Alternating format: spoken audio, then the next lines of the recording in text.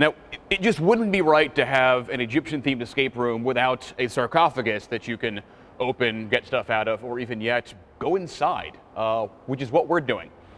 You can get full-on sarcophagi, I think that's the plural, pre-made from uh, various suppliers that, that sell that kind of tchotchke. However, they're usually uh, sold as bookcases or maybe uh, like liquor cabinets, and they're just not big enough to actually get an adult human through uh, into whatever may lie beyond it. So we are having to make our own uh, sarcophagus that will function as a door, uh, which will contain more undisclosed fabulous prizes.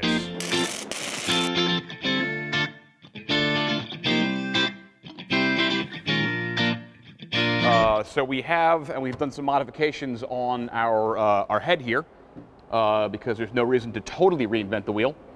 Uh, so we have our, our modified Pharaoh head, and then based on the scale of this one, I have in, um, in CAD made a model of what our rust sarcophagus is going to look like. So it's going to be built up out of layers MDF and then carved down. Uh, but because this thing is so thick, building it out of straight MDF, I calculated was going to take about 14 sheets at about 100 pounds a sheet, which makes it a very, very heavy door that may as well be stone. Uh, so we're not doing that. So I've already done all my math on in the computer and on the CNC, and I've cut out like 16 of these. So that'll give us eight layers uh, worth of MDF that are gonna, so we'll glue, nail, and build up, and just keep on building this up. And that'll get us our six and three quarter inches, which is about how big our, um, our Pharaoh head is. So that'll be the front. And then once we get this done, I will show you what we're gonna do to do the arms cross uh, for that, because that's pretty iconic of the sarcophagus is, is this. I think mostly because of, of Tut. That's kind of the one that we all know. So uh, without further ado, I'm gonna make some shit.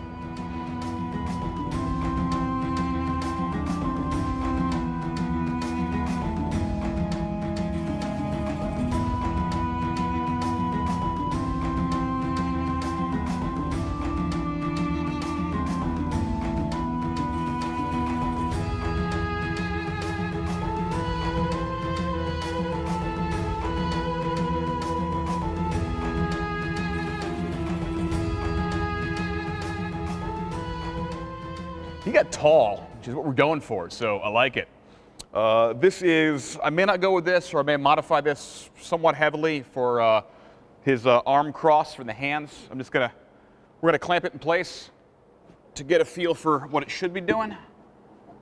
So Anna, if you would do the honors there.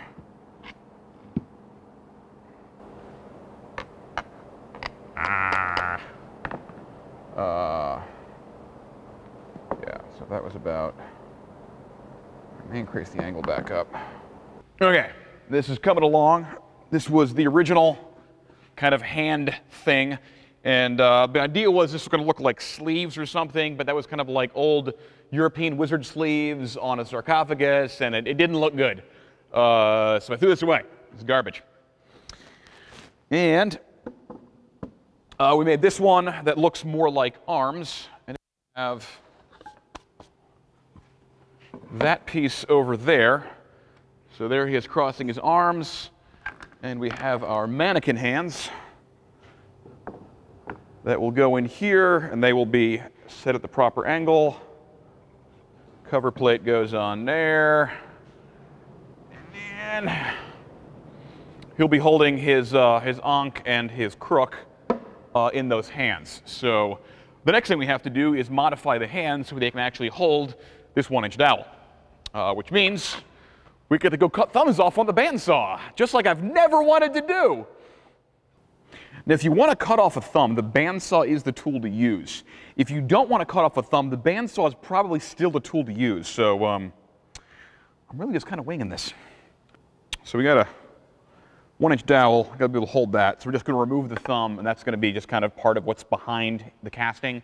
Because if you look at the actual Tutankhamun sarcophagus that this is mostly roughly based on, you don't really see thumbs. You just see the front of his hands, and it's all actually pretty flat. So I think if I just cut off the thumb, flat, that will be what we want to do. I'm to keep my own thumbs well shy, and uh, oh God! Ah, my thumb.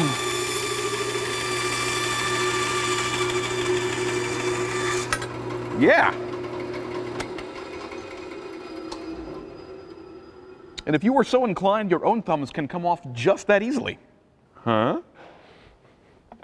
It'll be shorter and recessed down into there. But uh, yeah, I'm going to angle these a little bit. So, uh, so now I just need to cut off his other thumb, and then we're going to rotate the wrists that the uh, his sticks are on different that way. Yeah, different angles so that uh, one of these can be removed. And uh, so more thumb cutty, and then we are going to start securing stuff. I think.